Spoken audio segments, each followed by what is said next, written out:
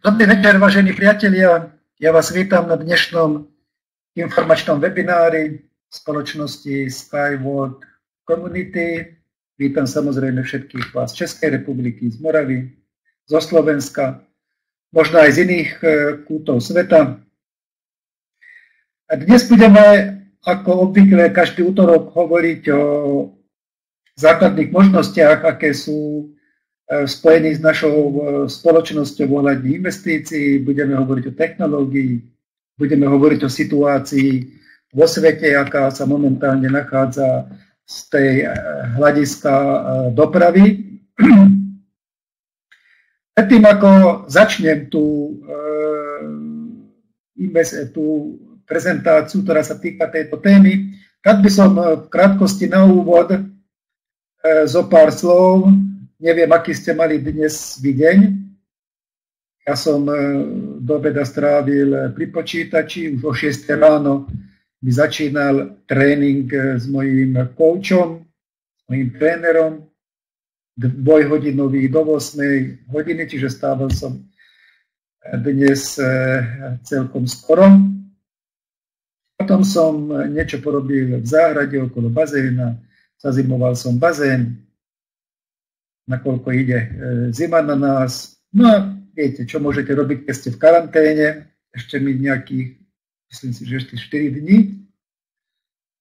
Na základe tých e, uznesení, ktoré momentálne sú platné, neplatné na Slovensku, takže mám trošku viacej času a popri tom si samozrejme robím niektoré svoje prípravy, prerábam prezentácie, robím nové prezentácie, ale samozrejme pozerám aj informácie e, na Facebooku, hľadám informácie o tom, čo sa deje vo svete aj v iných e, médiách, e, či už zo zahraničia, alebo aj zo, z iných alternatívnych slovenských médiách. No tá situácia je naozaj zaujímavá.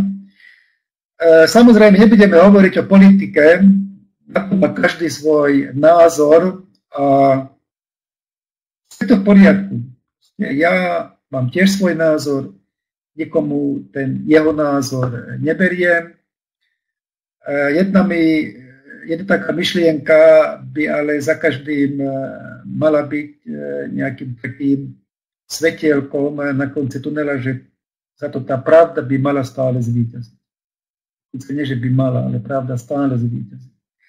No a budeme vidieť, ako sa tieto veci budú vyvíjať. Eh, ja by som skôr sa zameral, že toto obdobie, aký má dopad na biznis, ktorý aj my robíme, lebo samozrejme, že na jednej strane je každý zaujatý s tými informáciami, ktoré sú, je mnohokrát s tými informáciami okolo seba eh, ovplyvňovaný a ovplyvnený, ale ja, ja sa cítim dobre. Mne v podstate nič nechýba, som informovaný, sám si vyberám, ktoré informácie si prečítam, viem, ako to e, ide vo svete, Viem porovnať niektoré fakty z hľadiska biznisu, mám trošičku prehľad o tom, ako sa vyvíjajú veci ohľadne kryptomien. Mám trošičku prehľad o tom, ako sa vyvíjajú investície iných spoločnostiach. Aký to má dopad na e, prácu a činnosť v iných spoločnostiach. Viete, mňa Teší aj jedna vec, že napriek tomu, že mnohokrát diskutujeme, hm, proste, či je výhodne robiť tento biznis, či nie je výhodné robiť tento biznis. Ja som 30 rokov, 30 rokov, vyše 30 rokov pôsobil vo vrcholných funkciách, vo vrcholných manažerských postoch rôznych eh, výrobných eh, závodov na Slovensku aj v zahraničí. A pôsobil som v závodoch, kde osadenstvo toho výrobného závodu bolo aj viac ako 500 ľudí. Nezarábal som špatne týchto výrobných závodoch, či už ako riaditeľ výroby, alebo generálny riaditeľ niektorých výrobných e, závodov. A to je dobré, keď e, máte prácu, ktorá vás baví, viete ju robiť, ešte popri tom slušne aj zarobíte, čo viac chýba. Nikto, kto takúto prácu na vrcholových funkciách nerobil, nemôže popísať tie tlaky, nemôže popísať tie veci, ktoré je nutné robiť, keď napríklad prišla kríza a bolo potrebné z výrobného závodu, napríklad Štúrove, kde som robil najprv raditeľa výroby jednu závodu, potom generálneho raditeľa druhého závodu, kde je potrebné prepustiť 50 eh, ľudí, kde je potrebné znižiť výrobu o 50 lebo prišiel príkaz z vrchu a zariadte si to. A to sú rozhodovania veľakrát, keď eh, nespíte niekoľko nocí. A potom následky tých vašich rozhodnutí, lebo keď eh, prepustíte ľudí a niekoho musíte prepustiť, musíte si určiť nejaký kľúč, a veľakrát, keď ešte ste noví, tak sa spoliehate na vašich manažerov, aby povyberali tých, ktorí je, tých ľudí, ktorí je potrebné prepustiť. A oni to urobili, navrhli mi, ja som to musel schváliť. A potom nastane taká situácia, že dva týždne ste nútení spať v závode. Lebo tí ľudia, niektorí si to zobrali tak, že prišla nová metla, začala dobre zametať a dostanete odkaz, že len skúste vyjsť za bránu v závodu, uvidíte, čo sa bude diať. Čiže človek zažíva rôzne situácie. A ja stále hovorím, že zodpovedný za to v každej dobe, kde sa nachádza, čo robí. Totižto nikdy nesmieme zabudnúť na tie dni, alebo na ten deň, keď sme si prijali to, čo máme dnes. A možno, že to sú už roky. Čiže preto je, ja za každým hovorím, že vážme si to, čo máme, ale len my sami sme zodpovední za to, my sami sme zodpovední za to, že kde sme momentálne, kde sa nachádzame. Niekedy sme si to prijali. A to, čo si želáme dnes, alebo aké plány si pre seba naplánujeme do budúcna, tam budeme o rok, o tri, o 5, o 10. Nikde inde. To je dané. Čiže v týchto ťažkých časoch máme možnosť e, si prijať, kde chceme byť možno aj o mesiac. Nechcem byť o mesiac. A verte mi, že veľa ľudí si prehodnocuje tomto čase svoje životy. Veľa ľudí prichádza o prácu, veľa podnikateľov. Ja som čítal štatistiku, už viac ako tisíc firiem na Slovensku sprachovalo počas týchto 7-8 eh, mesiacov v tom, tomto roku. Veľa, vo veľa rodinách sú veľmi napäté vzťahy, zvyšuje sa počet samovrážd, zvyšuje sa počet ľudí, ktorí chodia na psycho, ku psychológom, zvyšuje sa napätie spoločnosti. A ja som kľudný. Robím si svoju prácu, osobne si myslím, že ju robím tak, ako ju mám robiť. Vnútorne som s tým stotožnený, vnútorne som lojálny, viem, kde tento projekt ide do budúcnosti. Viem si predstaviť, kde bude o rok, o 5 rokov. Prajem aj vám, proste, aby ste boli pokojní, aby ste si prehodnotili niektoré veci, aby ste si našli informácie na internete, v rôznych eh, médiách, vo vzťahu k biznisu. Aby ste videli tie veci, že koľko spoločností v sieťovom marketingu, alebo koľko spoločností, ktoré sa zaoberajú investičným stanu, skrachovalo. Ja viem jednu vec a teším, že veľa ľudí proste na určitý čas, od, čas odskočilo z, z, od spolupráce s našou spoločnosťou posledných dňoch, posledných týždňoch, posledných mesiacoch sa vracajú späť. Nikde to nie je medlíza.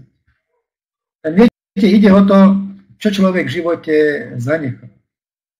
A ja presne viem, že o to ide aj pánovi Unickému, mimochodom nášmu generálnemu konštruktéru. Veľmi mu záleží na tom, že keď on odíde z tohto sveta, v akom stave ten svet bude. A záleží to aj, aj mne záleží na tom. Práve pred chvíľkou, asi 10 minút, povedala dcera, že prídu zajtra s vnúčkou a dva pol roka. Viete, nie je mi jedno, aký svet jej zanechá. A vedzte, že robil som v sieťovom marketingu Spolupracoval som s rôznymi firmami, ale už e, nechcem predávať nejakú kozmetiku alebo proste mydla, pracie prášky. Ja nechcem povedať, že je to potrebná robota, sú úspešné firmy.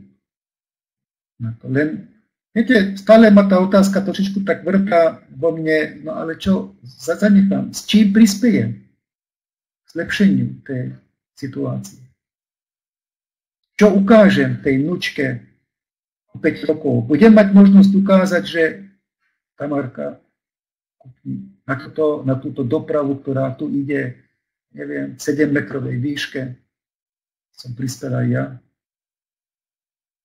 Alebo na ten systém, alebo na ten ekodom, alebo na tie líniové mesta. Budem o tom za chvíľku hovoriť. Toto ma drží, že projektov je veľa vo svete.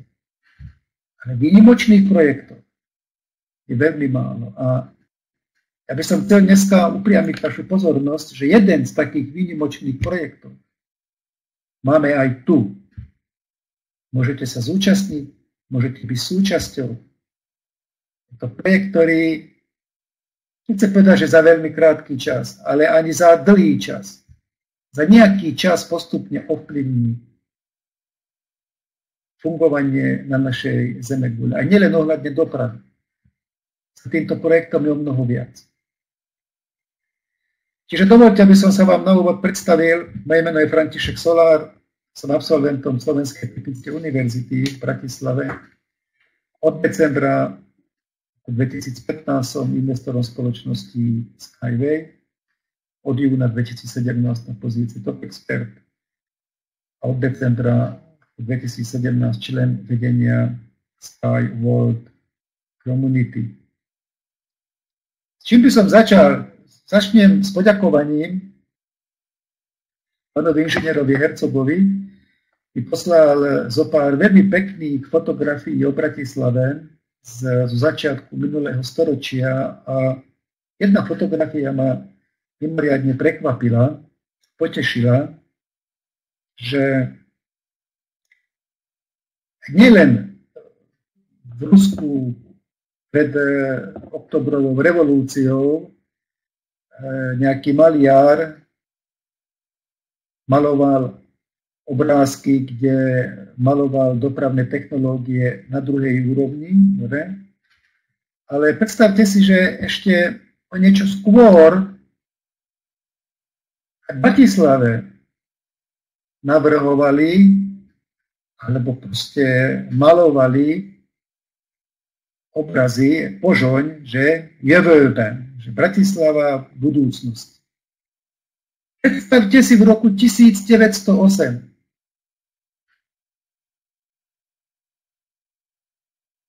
Táto fotografia, alebo tento obrázok už nemá veľa spoločného s dnešnou Bratislavou, že tam je, aj sa píše, že jediné, čo mala táto pohľadnica s prešpolkom spoločné, bola socha Márie Terézie, tereziánska sípka na mieste dnešnej reduty a Desertiho palác naľavo od soky na dnešnom štúrovom námestí. Je zaujímavé pozorovať, ako si tedajší prešporáci predstavovali budúcnosť svojho mesta. Predstavte si to, v roku 1908 si prešporáci Bratislavčania predstavovali a malovali našu estakádu. Pozrite sa sem.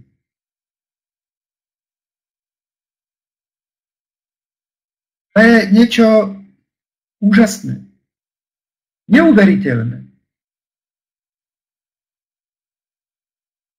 Kde všade pán Vinický musel čerpať svoje e, poznatky a určite takéto fotografie sú aj z iných miest, z iných štátov.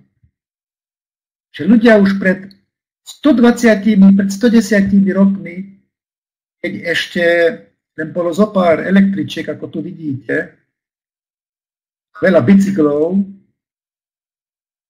už vtedy rozmýšľali, vtedy tí čo mysleli o budúcnosti, kreslili dopravu budúcnosti. Fantastické. Ďakujem ešte raz, pán inžinier, za fotografie zo starého prešporku, alebo zo starého požuňu, ako aj tu vidíme, že požuň je jeden. Takže vidíte, že asi náhody vo svete naozaj neexistujú a to, čo má byť, tak sa aj stane. Vo všetkým. So všetkým tak. Aj s tými plánmi, celosvetovými plánmi, že? Plánujú na 100 rokov. A to vidíte. Veľmi zaujímavé. No ale kde sme sa od tých plánov alebo od tých vízií na začiatku minulého storočia dostali? Do akej situácie? Toto sú naozaj skutočné fotografie. Tuto vľavo to je záber zo Spojených štátov a tuto zase záber z opačného eh, konca zeme kvôli z Ázie. Môžem potvrdiť, že videl som obidve situácie. Neviem, ktorá je horšia alebo nebezpečnejšia. V každom prípade doprava v Ázii je tak ohľaduplnejšia, tam e, nie sú potrebné ani nejaké dopravné predpisy, ani značky, akurát stačí semafor niekde tam v meste a ľudia sú disciplinovaní, ohľaduplní a funguje im. Takže odborníci hovoria, že do roku 2050 na základe toho trendu, aký je momentálne, tak sa početá zdvojnásobí. A to je o 30 rokov. Kde Boha živého sa to všetko pomestí ako to budeme jazdiť. A pevne verím, že to ešte zažijem. Samozrejme, že podobná situácia je v lodnej doprave. Veľa, častokrát sa hovorí o vyriešení toho, tej poslednej míle. Čo s kontajnermi, ktoré sa dovezú s tými veľkými dopravnými e, loďami zaoceánskými? Kde ich uskladňovať? Ja som videl napríklad eh, Montevideu kontajnery uskadené do výšky 5 poschodových budov. Haldu, tisíce kontajnerov. Dobrá situácia v Hamburgu, iných veľkých eh, prístavoch. A budem ešte v priebehu prezentácie hovoriť, že prečo my ideme eh, týmto spôsobom, že nájsť riešenie práve ako vyriešiť tú poslednú mílu s morskými kontajnermi. Dubaj sa má stať do troch rokov najväčším prekladiskom kontajnerov na svete. A prečo sme práve Dubaji, že? Budeme o tom ešte hovoriť. Samozrejme, príroda si veľakrát robí svoje a my nejaký preventívny liek dopredu nemáme. My nevieme preventívne odhadnúť, že keď ide nejaká búrka, nejaká katastrofa, čo to všetko spôsobí. Prežili sme veľa katastrof, e, padanie mostov, e, cez zimu, kalamity. V arabských krajinách zažívajú púštne búrky. To sú nedozierné následky tam, kde napríklad včera bola cesta, dneska e, nachádzajú haldy piesku, niekoľko sto tón niekedy, musia odpatávať, aby odkryli tú pôvodnú cestu. Samozrejme, že jedno ruka s tým ide ohľad e, situácia v životnom e, prostredí. Kde neohrozujeme len samých seba, ohrozujeme celú prírodu, živočínu. Odborníci opäť hovoria ohľadne životného prostredia. Pokiaľ ľudstvo naozaj nezačne rezolútne robiť niečo so znečisťovaním životného prostredia, o 10 rokov dospejeme do bodu, z ktorého nebude návrat. Navždy nás to poznačí. Hlavne naše deti a našich vnúkov. Takže akurát je na čase naozaj robiť e, reálne veci na zabránenie ďalšieho znečisťovania životného prostredia a zhoršovania. Áno, ľudstvo robí, proste objavujú sa nové technológie, ako práve elektromobilizmus je témou posledných mesiacov, rokov. Len ja sa stále pýtam, je to globálne riešenie? Ja si myslím, že nie je, lebo opäť sa odvolávam na vedcov, oni sú kapacity, oni vedia, čo hovoria, oni robia výskumy. Sa objavilo zhodnotenie, že elektromobil sa necháva väčšiu negatívnu uhlíkovú stopu v prírode ako dízlové auto. Čiže konec koncov ešte viac uškodíme tej prírode ako doteraz. Na Marko elektromobilov samozrejme, že sú poháňané elektrickým prúdom. A elektrická energia sa vyrába na 91% klasických elektrární. Sa spaluje uhlie, ropa, plyn. Lebo sú elektrárne atómové, kde zase je problém s nukleárnym odpadom. Čiže opäť nie je vyriešený celý problém celku. Aké sú tie hlavné problémy dnešnej dopravy? Preťaženie dopravných ciest. Hádam o tom ani nemusím hovoriť. Dostatočná bezpečnosť. 1,5 milióna ľudí zomiera každý rok pod kolesami a v dôsledku dopravných nehôd. Vyčisťovanie životného prostredia. Otvorená uzavretá otázka. Viete, ako kvóty na predaj emisí nás nevyťahnú z tej situácie, situácie, v ktorej momentálne sme. To nie je riešenie. Vysoká energetická spotreba. Napriek tomu, že sa objavujú stále nové, nové technológie, tá spotreba energií, spotreba suroví z roka na rok stúpa. Dokedy? Tá naša planéta bude schopná uniesť. som hovoril, že nové technológie, nové systémy a doprave vznikajú. Otázka je, či sú využiteľné. 40 rokov, viac ako 40 rokov trvalo Siemensu, aby vyvinul magneticko levitujúci dopravný systém na cenu.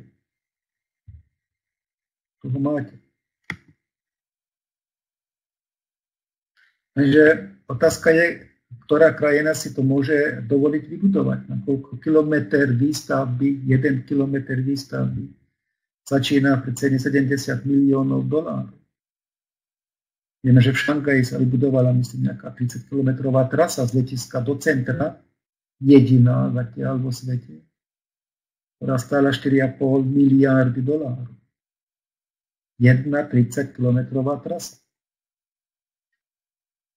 Určite v Nemecku po vojne sa budovali dopravné systémy na druhej úrovni, že ani jeden z týchto systémov nie je pojazný, nie je funkčný. Čína je priekopníkom budovania dopravných systémov na druhej úrovni. Totiž to odborníci opäť sa odvolávam na ní.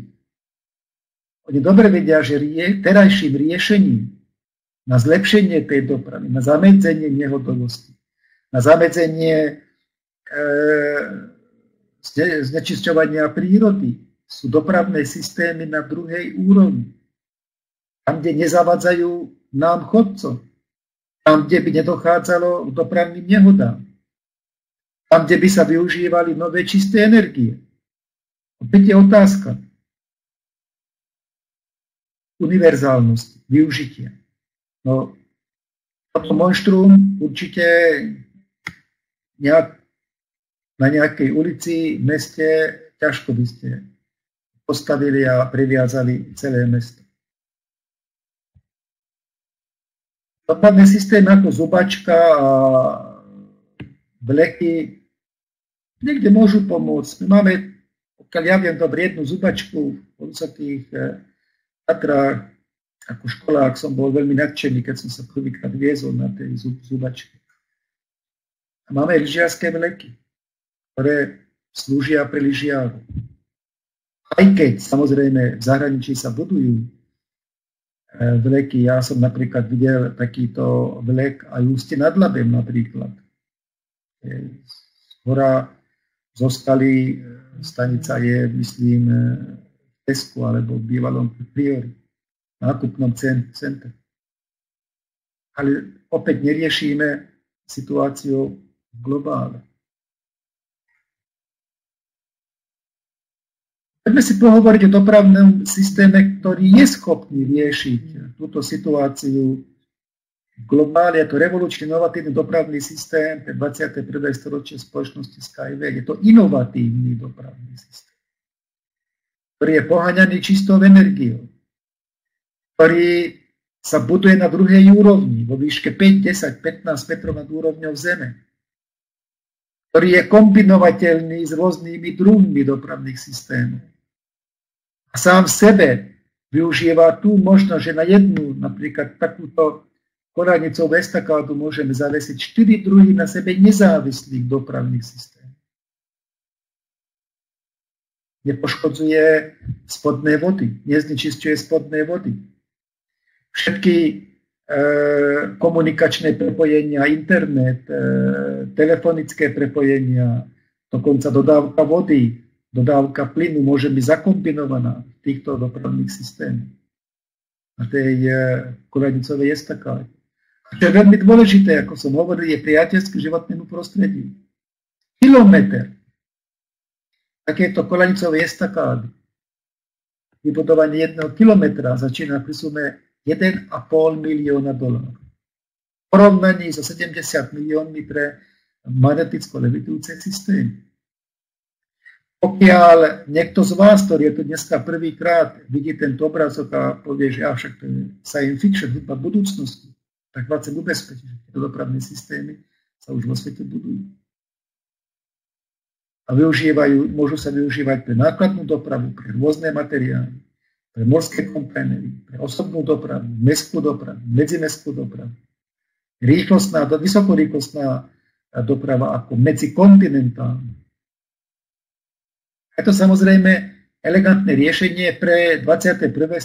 storočie lacné, energeticky výhodné, priateľské k životnému prostrediu a je kombinovateľné, alebo proste sa dá pripojiť na konvenčné dopravné systémy, ktoré máme momentálne.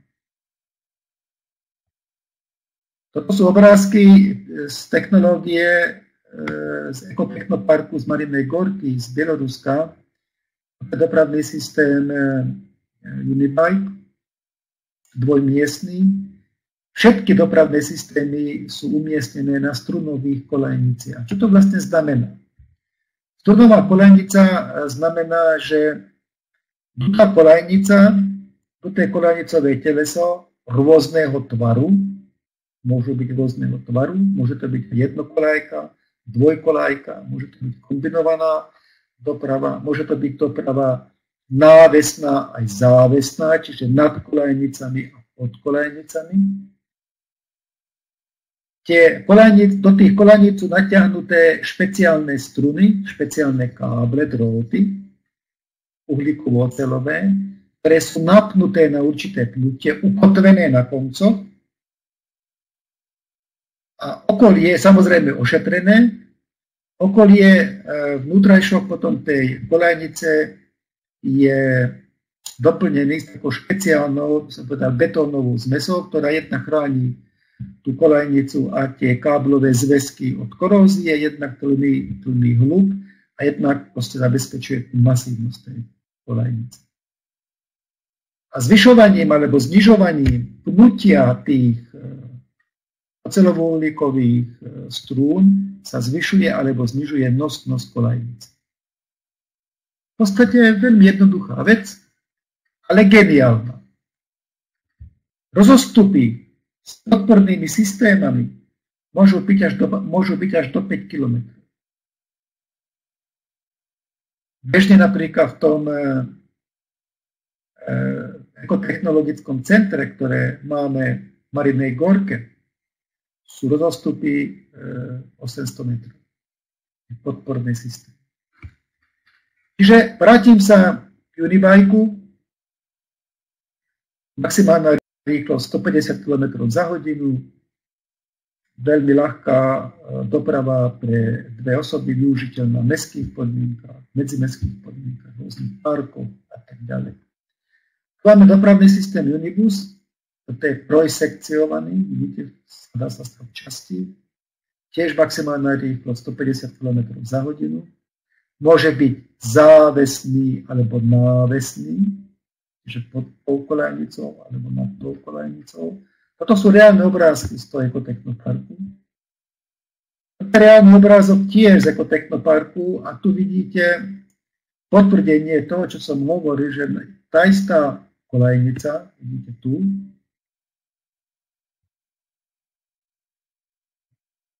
tak toto tu, tá istá kolejnica, ale na tomto, koleni, na tomto kolenicom systéme zavesený ťažší unibus. To je vlastne pre 8 ľudí. Čiže sa zvýši mutie tých strún a môže sa na ten istý kolenicový systém zavesiť ťažší dopravný systém. Máme náš most, tiež reálny obrázok z ekotechnoparku, Uniliot. Je to vysokorýchlostná doprava, maximálna rýchlosť 200 km za hodinu to vidíme tak ako návesný dopravný systém.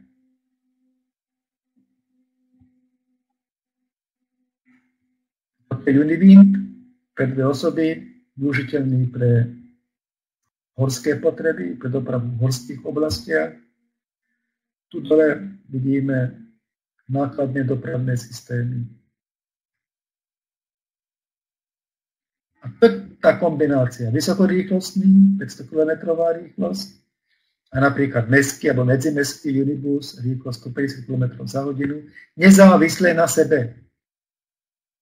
Samozrejme, všetky dopravné systémy sú automaticky riadené. Tam nie je šofér, e, vodič so všetkými bezpečnostnými, environmentálnymi problémami.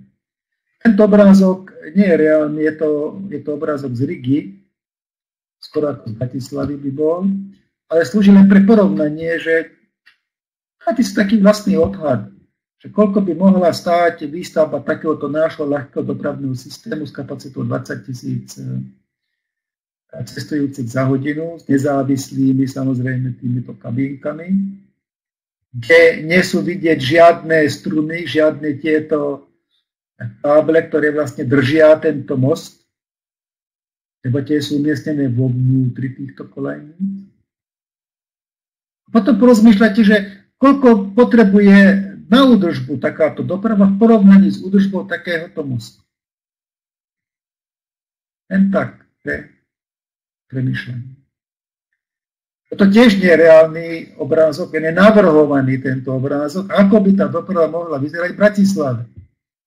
A to je Bratislava, myslím, to je hotel Delín. Máme ďalší obrázok pri Starom moste. Všetky ulice z bratislavskej strany, ktoré ústia k Dunaju, by sa mohli takýmto spôsobom spojiť. Toto je práve eh, spojenie s prístavom, toto je prístav. Keď by sme nemuseli veľa prerábať, len doplniť tam tú nejakú staničku, prerobiť e, tú budovu toho prístavu a vybudovať jednu stanicu na strane Petržalky. Všetko. A máme dopravný systém na Dunaju, veľmi jednoduchý, lacný, úsporný, efektívny. Ešte si môžete aj internet všetko e, pri preprave e, sledovať.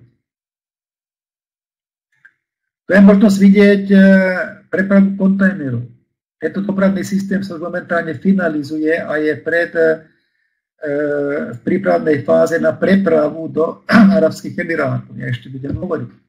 To vidíte v kombinácii s medzimestskou dopravou. Čiže nad nejakou diálnicou, alebo to je nejaká cesta prvej triedy, lebo nevidím viacero prúhov, vidieť elegantným spôsobom nad tým vybudovať takúto dopravu. To je vykládka, nakladka námorných e, lodí nákladných.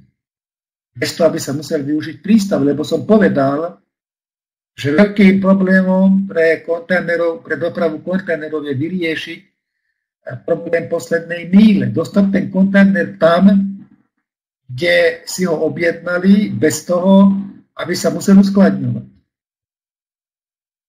Poďme sa pozrieť na spotrebu. Lebo som hovoril v úvode niečo aj o zdrojoch, že využívanie zdrojov energii sa každým rokom zvyšuje. Vybral som pre vás dva prípady. Je to 14-miestný Unibus,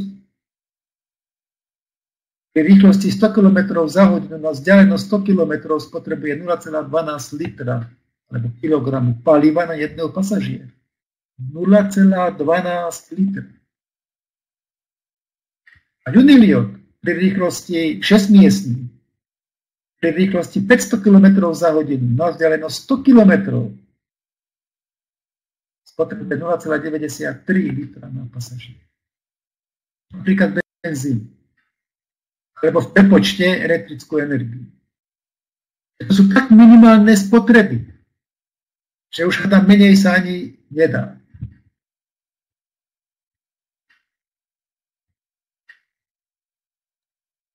Iné dôležité parametre porovnateľné s inými dopravnými systémami. So zelenou farbou je vyznačená stále doprava alebo dopravný systém spoločnosti Skyway. Tak sa pozrieme z hľadiska investícií, z investora. Z hľadiska investora sú najdôležitejšie dva parametre. Dva parametre. Investičné náklady respektíve tri parametre. Prevádzkové náklady a návratnosť investícií. Keď berieme priemerný projekt s našou technológiou, návratnosti sa pohybuje okolo 4-5 rokov. Návratnosť investícií. V porovnaní napríklad s návratnosťou, keď sa developerských stavieb, napríklad takého nákupného centra, si developeri budú naplánovať nákupné centrum, to sa postaví návratnosť vložených investícií sa pohybuje tak okolo 25 až 30 rokov. Čiže ten developer musí čakať 25 rokov, keď začne na tej investícii zarábať. Keď sa mu vrátili všetky jeho investície. Investičné náklady absolútne najmenší kapitál cost. Prevádzkové náklady. Samozrejme, že po nejakom čase treba tam nejaké e, minimálne e, investície na údržbu a tak ďalej, ale v porovnaní s inými dopravnými systémami, ako napríklad jednokolajové, magle, metro, e, železničná doprava, kamionová doprava, ako tu máte možnosť vidieť, absolútne minimum. Ďalší faktor, spotreba energií, taký veľmi dôležitý parameter. V porovnaní s leteckou dopravou, s kamionovou, s lanovkami, s magneticko levitujúcim systémom, s nákladnou dopravou, opäť najnižší. A pritom kapacita prepravy najvyššia. Až 50 tisíc klientov za hodinu dokážeme prepraviť. Opäť ideme z hľadiska dôležitosti znečisťovaniu životného prostredia. Absolutne minimálna. Toto je cesta, ako zastaviť ten trend, ktorý, z ktorého, ak budeme pokračovať, nebude návratu. No samozrejme dôležitý faktor je opäť aj nehotovosť. Koľko ľudských životov vieme ušetriť? Takže ono je veľmi dôležité vedieť tieto porovnania, tieto parametre, lebo podľa toho sa viete oceniť. Viete, viete si oceniť, akom ste projekte. Ako môžete naozaj ovplyvniť život e, ľudí na Zemi. Norbert mi píše, pán Honza, útorky sú určené pre úplných nováčikov. Prečo na to reaguje? Pre začínajúcich spolupracovníkov tel neprekáža, ani niektorí som už nejaký ten rok spolupracovníkom, aby som sa zúčastňoval webinárov, jednak si občerstvujem mozkové bunky a zároveň som príkladom pre mojich nováčikov a služobne starších spolupracovníkov. Aha, jak je na pána Honzu. Je tu snad niekto, kto by tieto informácie ešte neznal. Všimlo vám sa za novinky, ktoré určite zajímajú každýho. Pán Uza, myslím si, že dostal ste odpoveď od pána e, Olácha. S novinkami sa zaoberáme vo štvrtok, pokiaľ by ste doteraz e, nevedeli a pokiaľ ste tu dnes prvýkrát. Takže ako útorky máme webináre pre nováčikov, máte možnosť pozvať svojich nováčikov, aby dostali tieto prvé základné informácie a v štvrtok dostanú novinky. Vrátane vás. Ďakujem mimochodom za pripomienku. Len trošku nemiestnu si myslím. Keď sme hovorili o tých problémoch, eh, ako ich riešiť, alebo čo by mohla, mohlo byť riešením, No tak preťaženie dopravných ciest, pokiaľ ste videli tú dopravnú technológiu spoločnosti Skyway, čo sa stavia na druhej úrovni, no tak ako preťaženie dopravných ciest je vyriešené. Dostatočná bezpečnosť vyriešená, nakoľko systém funguje automaticky, nemôže prísť k preťaženiu. Ani, ani e, k nejakým nebezpečným veciam ohľadne bezpečnosti. Nakoľko sú použité E, najmodernejšie systémy bezpečnosti. Vyčisťovanie životného prostredia videli ste porovnania s inými dopravnými systémami. A to isté sa týka aj vysokej energetickej náročnosti. Toto je jediný spôsob, ako môžeme postupne dospieť e, k trendu, že každým rokom sa tá energia a spotreba suroví môže reálne znižovať. To je autorom tejto studnovej dopravy. Autorom je generálny konštruktér spoločnosti, pán Anatolij Eduardovič Unický, ktorý je aj mojim dobrým priateľom, myslím si, že môžem to veľmi otvorene eh, povedať, ktorý viac ako 40 rokov svojho života strávil s vývojom, eh, s dizajnom, implementáciou týchto dopravných systémov strunovej dopravy. On sám povedal, že budujeme E, niečo väčšie ako železničná doprava, letecká doprava, automobilová doprava spolu.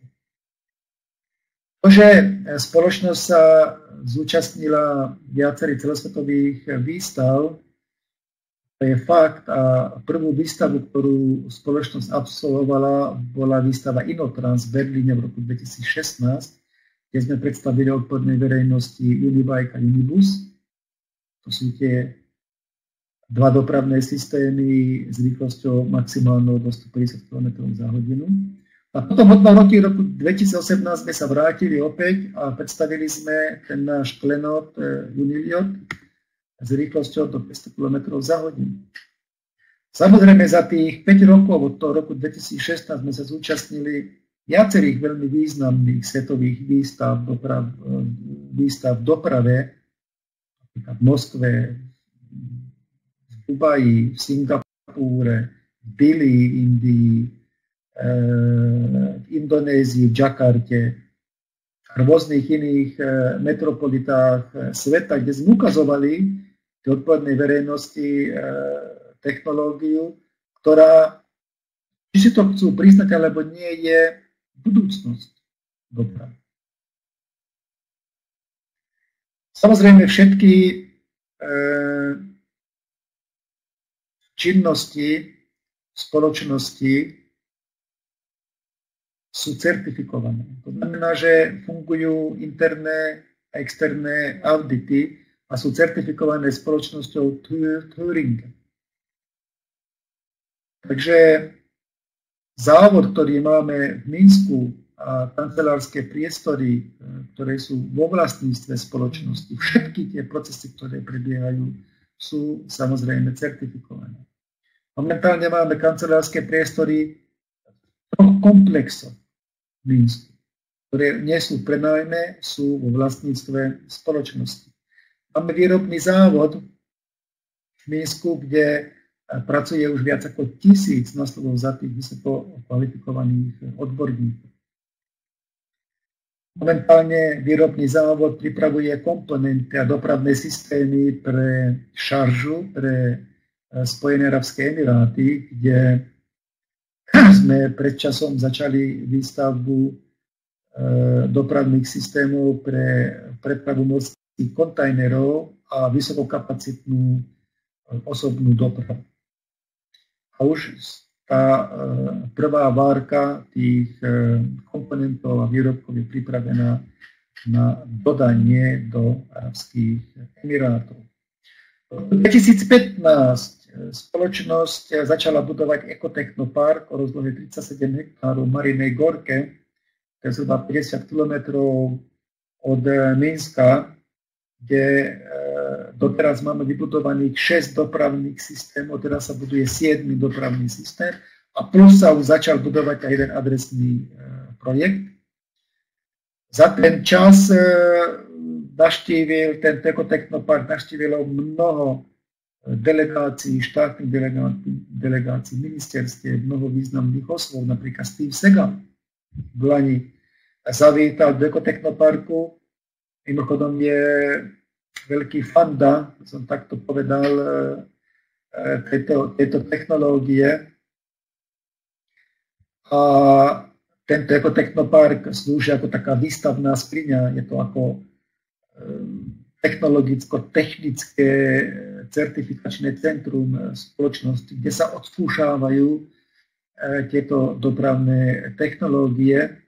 A že je to veľmi dôležitý objekt, to hlavne aj z toho dôvodu, že od začiatku, keď sa začínal dávať do prevádzky tento ekotechnopark od roku 2016, už sa odskúšalo, odskúšalo 5 generácií E, dopravných e, systémov a momentálne je vo vývoji šiestá generácia e, systémov dopravy spoločnosti Skyway. Môžeme sa pochváliť aj budovaním inovačného centra spoločnosti Skyway v Arabských Emirátoch blízko Dubaja v oblasti Šarža, ktorá je vyhlásená za kultúrnu Mekku Spojených arabských emirátov, kde v Lani v oktobri sa dokončila prvá fáza výstavby. Momentálne ten unikár, ktorý je vyhotovený vo VIP prevedení pre 4 osoby, je v skúšobnej jazde ako certifikačnom procese. Momentálne sa buduje kombinovaná trasa pre e, prepravu morských kontajnerov a pre prepravu e, vysokokapacitnej osobnej prepravy. Ekodom, ktorý je jediný drevený ekodom Spojených Arabských Emirátov, je viac menej dokončený a bude slúžiť na samozrejme vítanie návštev, na prezentácie a tak ďalej a tak ďalej. Tu máte práve možnosť vidieť e, ten unikár, ktorý od októbra, ako som hovoril, je už v plnej prevádzke.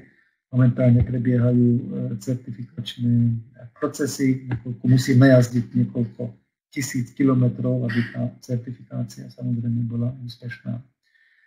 E, spoločnosť e, sa môže pochváliť, že podpísaný projekt na vybudovanie 15-kilometrovej trate priamo v Dubaji centre Dubaja s 21 stanicami. Momentálne nemám najpresnejšie informácie, že akom štáde výborové konanie na firmu, ktorá bude robiť e, výstavbu e, tejto dopravy, ale samozrejme, pokiaľ sa dozvieme najbližšie, keď budeme mať meeting s pánom generálnym konštruktérom, budeme sa pýtať na najnovšie informácie, potom na niektorom z tých webinárov o tom samozrejme poviem viac.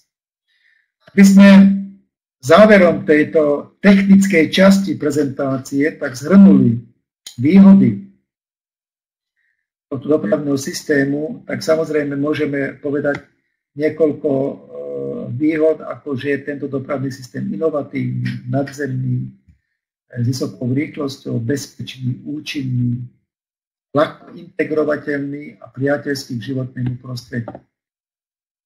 Viete, ťažko nájdeme zrovnateľný nejaký dopravný systém, súčasný konvenčný, či to je kamionová doprava, železničná doprava, magneticko levitujúci systém alebo iné druhy doprav, ktoré splňajú e, tieto výhody. Naozaj v žiadnom prípade. Ja som e, túto prezentáciu pôvodne v skrátenej forme e, pripravil pre nášho partnera, ktorý ktorý dnes e, prezentoval tu na Slovensku e, dopravný systém spoločnosti Skyway s ďalším partnerom, respektíve predstaviteľom jedného kraja, tak preto som to mal v takej skrátenej forme. A teraz už mám ten e, pôvod, tú pôvodnú prezentáciu, veľmi krátko vývoji spoločnosti. Ako som už hovoril, Pajunický viac ako 40 rokov svojho života venoval dizajnu, projektovaniu, vývoju, implementácii dopravných systémov strunovej dopravy. A všetko všetko to začínalo v 70. rokoch, kde potom samozrejme e, po mnohých skúškach, testoch, prototypoch a tak ďalej Prišiel rok 2014, keď sa začal eh, projekt už naplno rozvíjať, začalo sa aj financovanie projektu. A v 2016 roku začala, bola ukončená výstavba prvého dopravného systému v Ekotechnoparku a to bol, bolo spustenie v novembri 2016 eh, Unibike. Začal sa certifikačný proces a samozrejme, vtedy, ako som hovoril, sa vybudovalo už ďalších 6 e, dopravných systémov. A tento rok, no nikto nepredpokladá, že aký bude tento rok ohľadne e, koronavírusu. Tento rok e, spoločnosť chcela vyviesť technológiu na svetový trh. Uvidíme, ešte máme do konca roka necelé dva mesiace, ale v každom, v každom prípade prínosom je, že sa začali budovať dva projekty, ako som už hovoril, jeden v Marinej Gorke, kde objednávateľom je aj s hotoviteľom pán Junický. A druhý projekt, to je 100-kilometrová trasa, ktorá sa začala budovať v Šarži, kde 30 km z tých 100 km bude prechádzať v takých horských oblastiach a je to trasa na dopravu morských kontajnerov a veľkokapacitná doprava pre cestujúcich. Takže už sa četajú projekty, aj podľa slov pán Unického budúci rok sa minimálne tri adresné projekty budú podpisovať a začne sa výstavba minimálne troch adresných e, projektov. Takže držme si palce, osobne si myslím, a nie je to len môj osobný názor, firma ide E, do cieľa, k svoj, svojmu cieľu. Ten vektor je určený. E, budúci rok bude rozhodujúcim rokom, kde naozaj tá technológia sa dostane do povedomia širokej odbornej verejnosti. Nie len už cez výstavy, ako doteraz, ale už naozaj v reále, že tie projekty sa začnú budovať. A ja za seba vám viem povedať, že pokiaľ by nebola takáto situácia, už dávno máme podpísané ďalšie projekty, lebo de facto od marca, keď som sa vrátil naposledy z Vietnamu, sa nikde nedá cestovať a čo viem potvrdiť, partnery nás čakajú vo viacerých štátoch.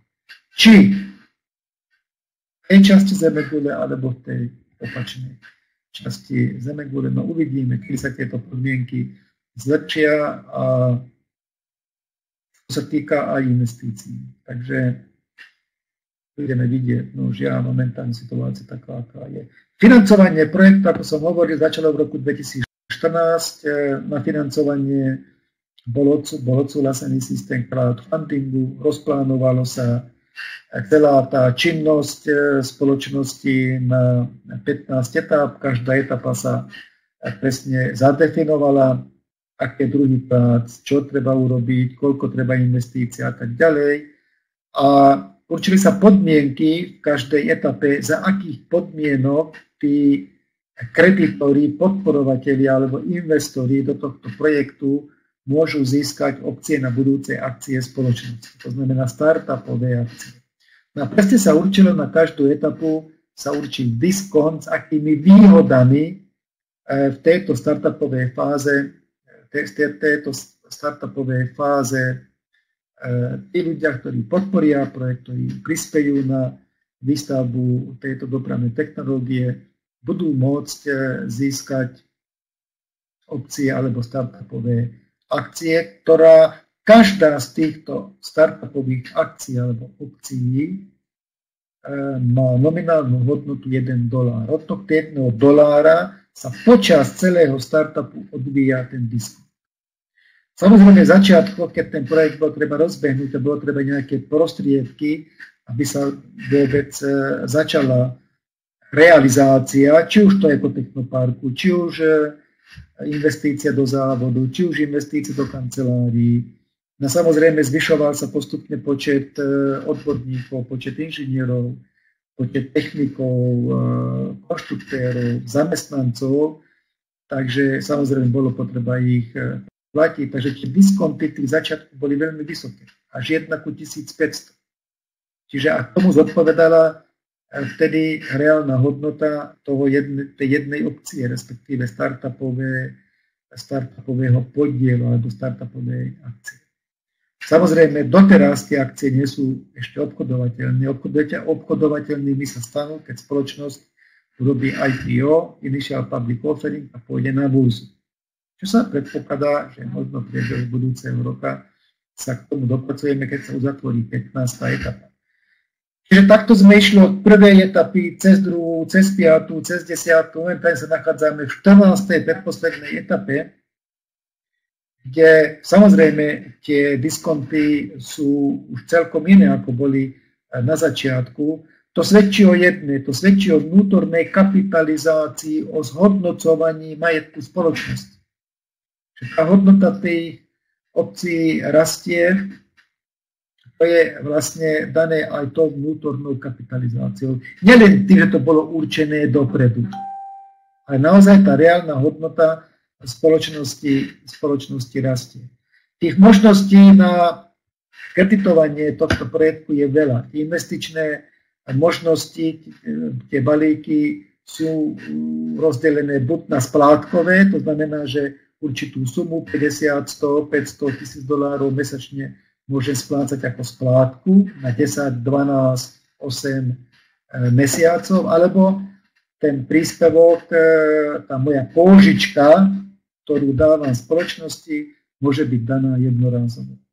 Samozrejme, tých možností je veľa, to sa môžete spýtať tých ľudí, ktorí vás sem dnes pozvali, ak sú tu takí ľudia, ktorí sú tu prvýkrát ja o tom nebudem hovoriť. Budem hovoriť o dvoch možnostiach. Je to e, prvá možnosť e, je to e, obchodná ponuka Step Up 2021, kde za diskont 1 ku 80 alebo 1 ku 40, či už na splátky alebo jednorázovo, môžete si zabezpečiť podiely spoločnosti v hodnote 1200 alebo 600 dolárov. To znamená, že môžete prispieť spoločnosti 1200 dolármi a dostávate myslím, 96 tisíc podielov, kde každý z podielov má nominálnu hodnotu 1 dolár. Alebo si to môžete rozvrhnúť na splátky, že 100 dolárová splátka mesačne na 12 mesiacov. Čiže je tam diskont 1 ku 80 alebo 1 ku 40, pokiaľ sa rozhodnete investovať 600 dolárov. Tiež buď na splátky alebo jednorázové.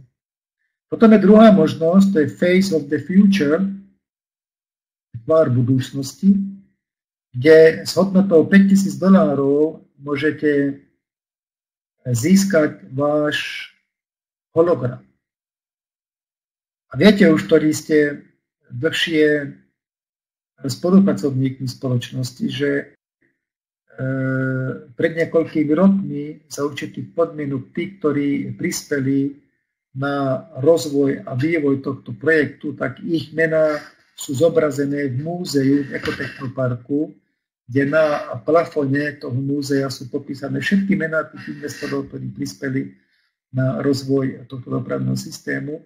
Momentálne spoločnosť ponúka za veľmi výhodných podmienok diskontom 1 ku 100. Ja som pozeral práve včera, našiel som jednu prezentáciu, kde boli znázornené tie etapy a takýto diskont bol v roku 2017. Čiže de facto na základe toho, že v týchto ťažkých časoch Veľa spoločností hľadá nejaké možnosti, ako e, pritiahnuť zákazníkov, ako odmeniť tých zákazníkov, ktorí, tých, ktorí už sú, ako proste uľahčiť niektoré veci, tak aj naša spoločnosť e, e, v dohovore s holdingom sme vyšli s iniciatívou, že vrátime ten diskont od 3 roky späť, tejto koronadobe, aby sme naozaj Eh, ukázali ľuďom možnosť eh, investovať za výhodnejších podmienok, lebo ten, ten eh, bežný diskont v 14. etap 1 ku 40. Teraz je možnosť proste investovať diskontom 1 ku 100. Táto ponuka končí posledným dňom tohto mesiaca, už budúci mesiac bude ponuka investície nie 5 tisíc, ale 10 tisíc dolárov s tým istým diskontom 1 ku 100. Ideme k záveru a ja by som pripomenul jednu spoločnosť, napríklad spoločnosť Facebook, ktorý tiež išiel do bitky e, zo startupu. Znamená, že keď Zuckerberg e, pripravoval Facebook na IPO, na Initial Public Offering, čiže na burzu, ono pripravoval 7 rokov. Startup Facebooku trval od roku 2004 do roku 2012. Len ono, ten startup bol uzatvorený, closed startup. Znamená, že nebola možnosť v startupovej fáze investovať do podielov alebo do budúcich akcií Facebooku. Samozrejme až na výnimky tých, ktorí podporovali Zuckerberg počas vývoja Facebooku, počas startup. A vieme, že momentálna hodnota akcií je okolo 235 dolárov. My neobmedzujeme nikoho, my sme otvorená spoločnosť. My sme otvorená pre všetkých. Či si niekto investuje 25 dolárov, či 50, či 100, či 1000, či 5000, či 10 tisíc. Závisí len len od vás. Ale my dávame tú možnosť aj v startupe, aby ľudia mohli prísť k eh, budúcim akciám spoločnosti a mohli byť spoluvlastníkom firmy, ktorá sa veľmi rýchlo rozvíjí. Aké sú možnosti? Ja mám rád, keď mám na výber. Možnosti sú dve. V tejto dobe v startupe vy sa môžete stať majiteľom akcií alebo sa môžete stať držiteľom akcií. Ak požičiate firme vašu investíciu alebo zainvestujete do firmy, za vašu investíciu dostávate opciu na budúce akcie. Respektíve dostávate startupové neobchodovateľné podiely. Vy sa rozhodnete tie podiely si nechať, podpíšete si žiadosť, aby vám spoločnosť, naša spoločnosť, v role agenta a garanta pripísala tieto opcie na váš akciový účet a tým pádom sa stávate akcionárom, stávate sa majiteľom týchto opcií, budúcich obchodovateľných akcií a ste zapísaní v registri akcionárov, respektíve v registri e, opcií, akcií. Jedna možnosť. Čiže za ten, za tú svoju investíciu, za veľmi výhodných podmienok, pred chvíľou som hovoril, momentálne ten diskont môže byť až 1 ku 100, Čiže stonásobne menšou e, hodnotou máte možnosť prísť e, tým podielom, ktoré budú v prípade IPO spoločnosti na burze, kde budú začínať s hodnotou 1 dolar. Alebo vy si môžete povedať, ja neverím burza, neviem, ako sa to bude vyvíjať, to je riziko a bla bla bla tak sa rozhodnem, že užičiam spoločnosti moju investíciu a po troch rokoch, keď som toto urobil, si môžem od spoločnosti svoju požičku žiadať naspäť. Spoločnosť mi tú moju investíciu, moju požičku pošle na môj účet bankový plus s maximálne 4% ročným úrokom. To znamená, že ne, nepošlem do spoločnosti žiadosť na pripísanie týchto opcií na môj, do môjho registra, ale si ich držím ako protihodnotu za moju investíciu.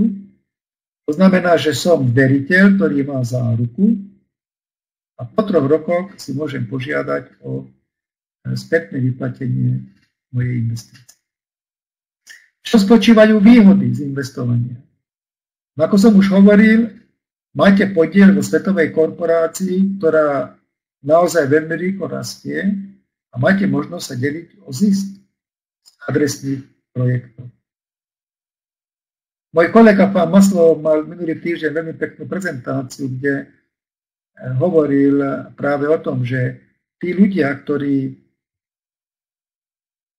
sa rozhodnú ísť touto cestou, že stanú majiteľmi svojich budúcich obchodovateľných akcií, budú mať možnosť investovať do konkrétnych adresných projektov. To znamená, že plus mať zisk, plus mať dividendy zo zisku, keď tie adresné projekty začnú prinášať zisk. V prípade úspešnej realizácie projektu budete môcť získať dividendy z podielu na zisku z projektov spoločnosti. Možno spoločnosť eh, predtým, ako vstúpi na burzu, vyhlási možnosť odkúpenia. Je to stále výhodné pre spoločnosť nejakou cenou pod dolár odkúpiť od časti eh, svojich eh, investorov tie podiely, lebo keď si, si, keď si ona istá tým, že keď vstúpi na burzu a vypravené projekty, ktoré sa budú rozvíjať, to znamená, že hodnota bude narastať, hodnota akcií. Také to výhodné pre ňu uvidíme. Konec koncov roku 2018 už dala možnosť eh, prvým 5000 investorom, že odkúpila od nich ich eh, podiely s 10 násobkom, koľko oni do toho, koľko, za koľko to oni odkúpili. Dedično, samozrejme, že akcie sú váš majetok, ako váš dom, vaše auto. Môžete ich predniesť na svoje deti, vnúčatá ako dedictvo. A to som hovoril, že aktuálna hodnota akcie je oveľa nižšia ako ich nominálna hodnota. Hovorí sa nominálna hodnota 1 dolár. Momentálna reálna hodnota s tou ponukou na hologram 1 ku 100. Čiže 0,001.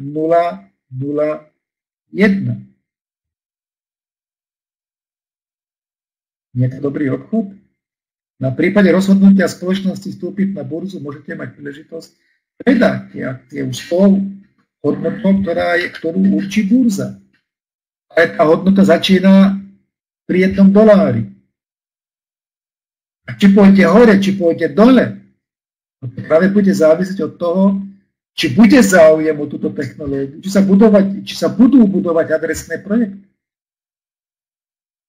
Podľa tých indícií a podľa tých znalostí a skúseností a informácií, ktoré máme teraz, skôr bude problém, že budeme mať problém s tým, že na čas zabezpečiť vybudovanie tých adresných projektov.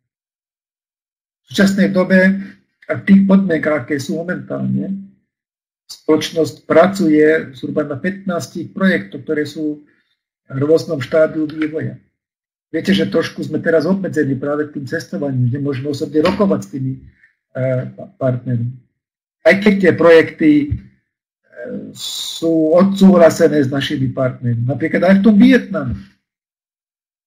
Kde by sme už boli, keby sme už od marca mali možnosť niekoľkokrát ísť. Takže toto je spôsob, či chcete len diverzifikovať E, svoje e, peniaze, ktoré máte k dispozícii. Lebo vidíte, viete, e, svetový trh, dneska som pozrel, ako akcie reagujú na tú situáciu, ktorá je v Spojených štátoch, keď sa vyhlásilo, respektíve média vyhlásili Bidena za víťaza, ide nárast akcií. Takto reaguje trh, takéto vyhlásenie, ako bude reagovať, keď, keď konec koncov bude Trump prezident. Lebo všetko nasvedčuje k tomu, že Trump. Pôjde to dole? Ako dlho? Kedy začne tá skutočná recesia? Kedy začne tá ekonomická kríza, alebo ešte akože nezačala, ale ona začne. Lebo Každá akcia má svoju reakciu. Niekedy je tá reakcia oneskorená, niekedy okamžitá. Ale trúfne si povedať, že o mesiac tá situácia bude úplne iná. A ako si vy viete ochrániť svoje e, financie? My nevieme teraz dopredu z istotou povedať, že čo sa udeje v bankovom sektore, čo sa udeje s infláciou, ale vieme, že aj tá inflácia bude. Vieme, že aj s tým bankovým sektorom sa bude robiť niečo tam budú ohromné zmeny. Ako si to viem uchrániť, to, čo mám? Opäť sa mi to zdevalvuje. Že to sú otázky, ktoré je najvyšší čas riešiť. A jedno z tých možností, nehovorím, že jedinou, ale jedno z tých možností je ochrániť si hodnotu vlastného kapitálu tým, že podporím tento projekt. A samozrejme potom mám možnosť čakať na dividendy pasívne, niekto niekoho nenahovára, alebo to môžem využiť aktívne, že urobím aj investíciu, podporím tento projekt. A aktívne sa zapojím do propagovania tohto projektu. A z toho môžem zarobiť celkom slušné peniaze. Lebo ste si takí istí, tí, ktorí ste zamestnancami, že zajtra budete mať prácu, alebo o mesiac, alebo o dva. Opäť sa vyhlásilo núdzový stav na ďalších 90 dní, že to protiústavné, to každý kašle. Čiže asi viem, aké budú Vianoce. Asi trúfnem povedať, taká istá bude aj Veľká noc, budúci rok. Dokedy to trápenie budeme prežívať? Ako sa budeme chrániť? Lebo verte tomu, že koncom tohto roka nastúpi tá ekonomická hospodárska kríza. Už teraz nie je času rozmýšľať, dlho rozmýšľať, že kde chcem byť koncom roka, kde chcem byť budúci rok, kde chcem byť o tri roky. Už by ste to mali ma zadefinované.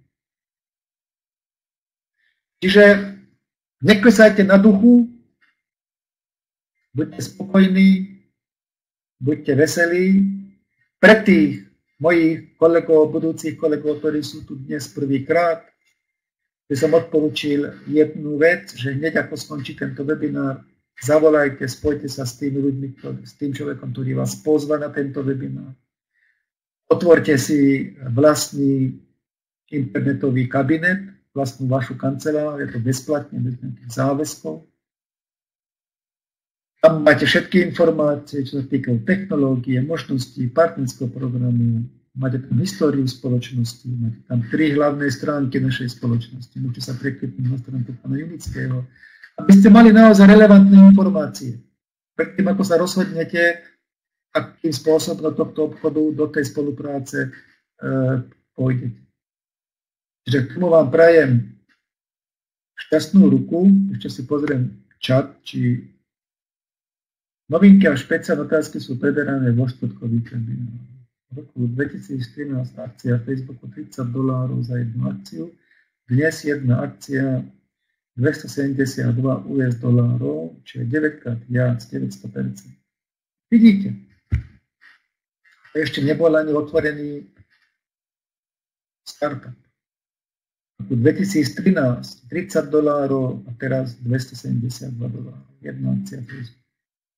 My tiež máme urobené rôzne prepočty, že sú dva po roku, ako by tá hodnota akcií mohla vyzerať. Sú to veľmi zaujímavé prepočty. Predpoklady robené na základe dnešných vedomostí.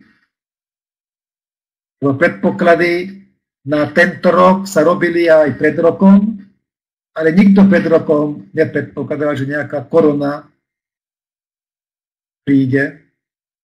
Čiže a napriek tomu ako som hovoril, že tá situácia v tých eh, Arabských Emirátoch, ja som pozeral jeden, jeden dokument, sa zastavila výstavba dvoch najvyšších eh, budov na svete, ktoré stavajú v Spojených Arabských Emirátoch, že to bude budova vyššia ako 1 kilometr.